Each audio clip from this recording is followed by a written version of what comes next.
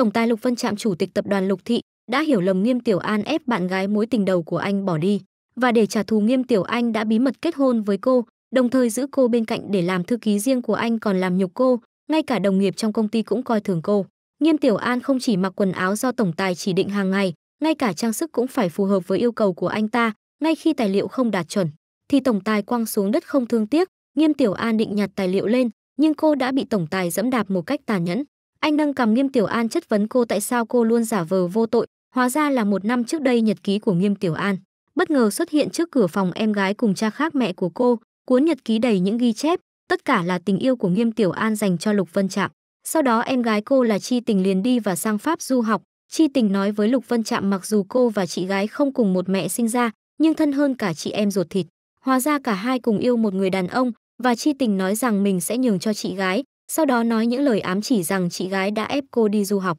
Chi Trình chúc anh và chị gái hạnh phúc. Vào lúc này Nghiêm Tiểu An vội vàng chạy tới, những gì Chi Tình nói khiến Lục Vân Trạm cảm thấy, Nghiêm Tiểu An nhất định đã ép cô ta đi, lúc này Nghiêm Tiểu An thất vọng trở về nhà, không ngờ điều chờ đợi cô lại là cái tát vào mặt của mẹ kế. Rồi mẹ kế dùng bỏ cô và bảo cô ra khỏi nhà, không còn nơi nào để đi cô đến trước cửa nhà Lục Vân Trạm. Cô muốn giải thích sự hiểu lầm của Chi Tình với anh, lúc này Lục Vân Trạm đề nghị kết hôn với Nghiêm Tiểu An, nhưng anh có một điều kiện. Cuộc hôn nhân của họ không thể để ai biết, Nghiêm Tiểu An kết hôn với người đàn ông cô yêu sâu sắc, Lục Vân Trạm như cô mong muốn nhưng người đàn ông đã hiểu lầm Nghiêm Tiểu An, buộc bạn gái mối tình đầu của anh bỏ đi, sau khi kết hôn anh hành hạ cô bằng mọi cách có thể. Lục Vân Trạm đi làm về hôm nay, nhưng anh nhìn chằm chằm vào Nghiêm Tiểu An với vẻ mặt u ám.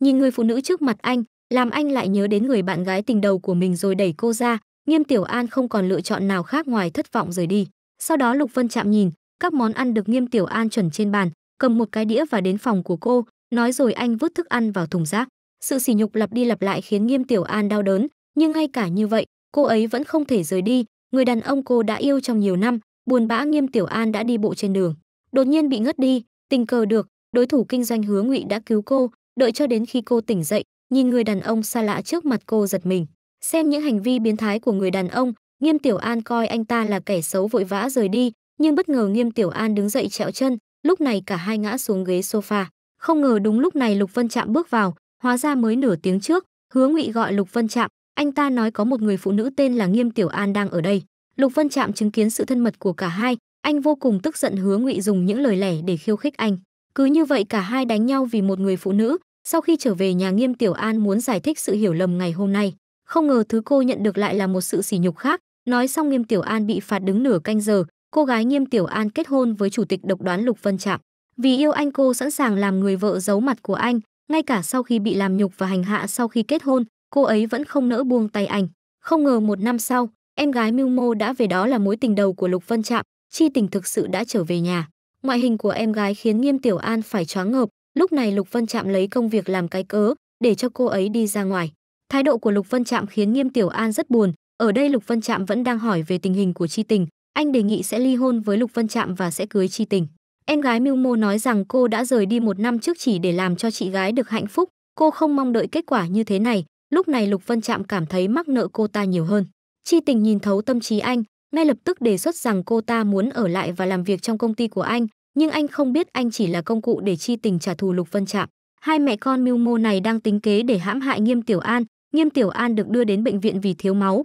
cô bạn thân An Lan bên cạnh khuyên cô ấy hãy nghỉ ngơi thật tốt. Không ngờ lúc An Lan ra ngoài mua đồ ăn, Nghiêm Tiểu An kéo cơ thể ốm nặng của mình về nhà và làm bữa tối cho Lục Vân Trạm. Nấu cơm xong cô loạn choạng quay lại bệnh viện, nhưng đêm nay Lục Vân Trạm bất ngờ, anh đã ăn bữa ăn do Nghiêm Tiểu An chuẩn bị. Bạn thân nhìn bộ dạng của Nghiêm Tiểu An rất đau khổ, ngay lập tức gọi Lục Vân Trạm và Lục Vân Trạm đến thăm cô và bảo bạn thân của cô đừng nói với Nghiêm Tiểu An là anh đã tới đây. Ngày hôm sau mẹ kế gọi Nghiêm Tiểu An về nhà, của trách cô vì đã bí mật kết hôn với Lục Vân Trạm và châm biếm cuộc hôn nhân vô ích của cô. Bây giờ Chi Tình đã trở lại để cô ấy từ bỏ vị trí của mình một cách hợp lý và bảo cô ly hôn với Lục Vân Trạm nhanh. Nhưng thật bất ngờ Nghiêm Tiểu An đã không đồng ý với bà ta, nói xong cô ngạo nghễ bỏ đi, chủ tịch độc đoán Lục Vân Trạm hiểu lầm vợ ép bạn gái mối tình đầu bỏ đi, trả thù và hành hạ cô ấy bằng mọi cách có thể sau khi kết hôn, sau khi mối tình đầu trở về nhà, anh muốn kết thúc với Nghiêm Tiểu An, cuộc hôn nhân trên danh nghĩa này. Ngay khi Nghiêm Tiểu An buồn bã và lạc lối, cô gặp lại người bạn thời thơ ấu của Lục Vân Trạm, hứa ngụy tỏ tình với cô mời cô làm giám đốc thiết kế của tập đoàn Hứa Thị. Cuối cùng anh ta bị Nghiêm Tiểu An từ chối, Sau khi trở về nhà Nghiêm Tiểu An báo cáo hành trình của mình, những gì cô không mong đợi là một sự sỉ nhục khác. Lục Vân Trạm nói rằng sẽ ly hôn với cô sớm thôi, sau đó sẽ cưới Chi Tình. Nhưng Nghiêm Tiểu An bướng bỉnh nói cô chẳng làm gì sai cả sẽ không bao giờ nộp đơn ly hôn. Mẹ kế của Nghiêm Tiểu An đến công ty vào ngày hôm sau để xua đuổi cô ra khỏi Lục Vân Trạm. Bà ta đã bí mật gửi hình ảnh Nghiêm Tiểu An đi ăn cùng Hứa Ngụy cho Lục Vân Trạm xem, đổ lỗi cho cô vì đã tiết lộ bí mật công ty. Vì mẹ kế nắm giữ một số cổ phần trong công ty, Lục Vân Trạm không còn lựa chọn nào khác ngoài việc hứa rằng anh sẽ điều tra một cách nghiêm túc. Vào buổi tối sau khi tan sở Nghiêm Tiểu An gọi Lục Vân Trạm lại, hỏi rằng hôm nay anh có về nhà không, nhưng anh rời đi mà không trả lời, Nghiêm Tiểu An rất buồn. Trong bữa ăn anh nói với mẹ kế của Nghiêm Tiểu An, nghi ngờ đã được điều tra, là Hứa Ngụy đã cản đường, Nghiêm Tiểu An hoàn toàn không biết. Vô tình anh bắt đầu bảo vệ Nghiêm Tiểu An, mẹ kế cũng nhận thấy sự thay đổi ở anh, vì vậy thúc giục Chi Tình đã chờ anh quá lâu. Với tư cách là một người đàn ông, anh cần cho cô ta một lời giải thích, em gái Mưu Mô lúc này giả vờ đáng thương. Chủ nhật tới là sinh nhật của cô ta, Chi Tình muốn nhắc nhở anh đến sinh nhật cô ta, lúc đó Lục Vân Trạm mới hiểu, tại sao Nghiêm Tiểu An hỏi anh có về nhà ăn tối không. Hóa ra hôm nay là sinh nhật của Nghiêm Tiểu An, thật bất ngờ anh vội vã về nhà, nhưng phát hiện ra rằng Nghiêm Tiểu An không có ở đó. Khi anh tìm thấy Nghiêm Tiểu An, cô ấy đã say với bạn bè Lục Vân Trạm bảo cô đi về nhà, cô say khướt nói mình không có nhà còn có người chồng vô tâm. Anh nghe những lời này đã sao động trong lòng, cô gái này đã kết hôn với người đàn ông cô Lục Vân Trạm cô yêu như cô mong muốn, nhưng ngay cả như vậy cô vẫn khiêm nhường bên anh. Cô không ngờ rằng sau một năm kết hôn, nhưng điều họ chờ đợi là một lá thư chuyển nhượng bất động sản. Cô biết rằng đây là Lục Vân Trạm muốn ly hôn với cô. Nó khiến cô cảm thấy choáng ngợp trong giây lát. Vào buổi tối khi Lục Vân Trạm về nhà, anh đã nghe rằng cô muốn chuyển ra khỏi nhà và đồng ý ly hôn. Sau khi anh nghe xong đã mất bình tĩnh lao đến cưỡng hôn cô, hành động này khiến Nghiêm Tiểu An bị sốc, Nghiêm Tiểu An không tin sẽ có một ngày như vậy. Lúc này Lục Vân Trạm đã yêu Nghiêm Tiểu An, nhưng anh không biết, ngày hôm sau anh đưa Nghiêm Tiểu An ra ngoài để thảo luận về việc hợp tác. Thật bất ngờ Hứa Ngụy trở thành đối thủ cạnh tranh của anh ấy, thậm chí còn ngạc nhiên hơn Hứa Ngụy tỏ tình với Nghiêm Tiểu An trước mặt anh, điều này khiến anh ngay lập tức ghen. Nghiêm Tiểu An ở trong phòng tắm khách sạn vào ban đêm, vẽ bản vẽ thiết kế trong khi tắm, Lục Vân Trạm lúc này đang say, nhưng đột nhiên đi vào, anh từ từ đến gần Nghiêm Tiểu An ép cô đến giường và đè cô xuống, trong giây tiếp theo Lục Vân Trạm rơi vào trạng thái hôn mê. Vào lúc này Chi Tình thực sự đã tìm cô ấy, Nghiêm Tiểu An không còn lựa chọn nào khác ngoài việc khéo léo nói mình có việc phải đi, để Chi Tình chăm sóc cho Lục Vân Trạm. Sau đó Nghiêm Tiểu An tình cờ gặp Hứa Ngụy ở đây, anh ta bảo cô hãy hẹn hò với anh, nhưng Nghiêm Tiểu An nói rằng trong trái tim chỉ có Lục Vân Trạm. Ngày hôm sau Lục Vân Trạm đưa Nghiêm Tiểu An và Chi Tình rời khỏi khách sạn, nhưng bị Hứa Ngụy Châu chặn lại, Chi Tình đã chủ động giới thiệu bản thân, nhưng Hứa Ngụy đã chế giễu cô ấy là một con cáo già, để kích thích Lục Vân Trạm anh ta nói dối rằng công ty đang thiếu nhân lực. Anh muốn mượn Nghiêm Tiểu An để đến công ty của anh để thiết kế trong một tháng. Thật bất ngờ, Lục Vân Trạm sẵn sàng đồng ý, hiểu nhầm vợ ép bạn gái mối tình đầu bỏ đi, trả thù và hành hạ cô ấy bằng mọi cách có thể sau khi kết hôn, ngay cả có người ngưỡng mộ Nghiêm Tiểu An. Và khi ai đó hỏi mượn anh ấy có thể dễ dàng đồng ý,